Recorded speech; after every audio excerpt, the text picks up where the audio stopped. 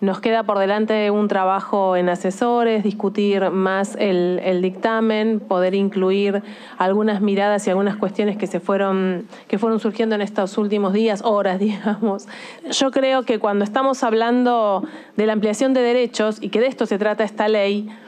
estamos tratando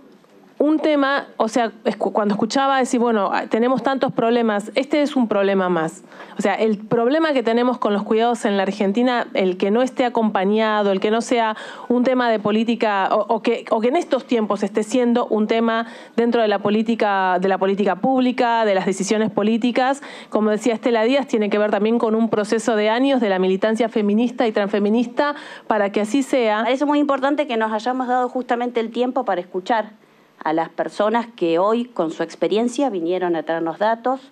eh, toda su, su, experiencia en sus ámbitos de trabajo y a mí me parece que eso es valorable y es enriquecedor. Y en ese sentido propongo que nos demos eh, esa oportunidad, Presidenta, porque así como hoy los escuchamos a las personas que están acá presentes, seguramente entiendo que la academia tendrá mucho para aportar, entiendo que hay un movimiento de organizaciones de la sociedad civil que vienen trabajando hace mucho tiempo sobre el tema de políticas integrales del cuidado, que también nos pueden alumbrar con la experiencia y con el análisis que se viene desarrollando y sería muy bueno